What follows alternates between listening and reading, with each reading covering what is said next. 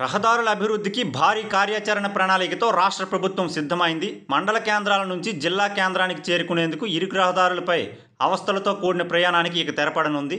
రాష్ట్రంలోని అన్ని మండల కేంద్రాల నుంచి జిల్లా కేంద్రాలకు ఒక మండల కేంద్రం నుంచి మరో మండల కేంద్రానికి రెండు లేన్ల రహదారుల అభివృద్ధి ప్రణాళికను ప్రభుత్వం ఖరారు చేసింది. న్యూ డెవలప్మెంట్ బ్యాంక్ నుంచి ఆరు వేల నాలుగు వందల కోట్ల రుణంతో రాష్ట్రంలో రెండు దశల్లో రెండు వేల ఐదు వందల కిలోమీటర్ల మేర రోడ్లు నిర్మించనున్నారు. ఇందుకోసం తొలిసారిగా ప్రత్యేక ఫండ్ అకౌంట్ తెరవాలని నిర్ణయించడం విశేషం రాష్ట్రంలో రహదారులకు అత్యధిక ప్రాధాన్యతమిస్తూ ముఖ్యమంత్రి వైఎస్ జగన్మోహన్ రెడ్డి గారు కీలక నిర్ణయం తీసుకున్నారు.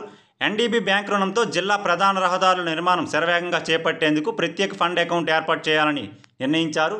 ఈ మేరకు ఆర్ఎండ్బీ శాఖ ప్రతిపాదనకు సీఎం జగన్ ఆమోదం తెలిపారు. రాష్ట్రంలో జిల్లా ప్రధాన రహదారుల అభివృద్ధికి ఎన్డీబీతో రాష్ట్ర ప్రభుత్వం ఇప్పటికే ఒప్పందం కుదుర్చుకుంది. మొదటి దశలో మూడు వేల పద్నాలుగు కోట్లతో పన్నెండు వందల నలభై నాలుగు కిలోమీటర్ల మేర రోడ్లు నిర్మించనున్నారు. రెండో దశలో మూడు వేల మూడు వందల ఎనభై ఆరు కోట్లతో పన్నెండు వందల అరవై ఎనిమిది కిలోమీటర్ల మేర రహదారులు నిర్మిస్తారు.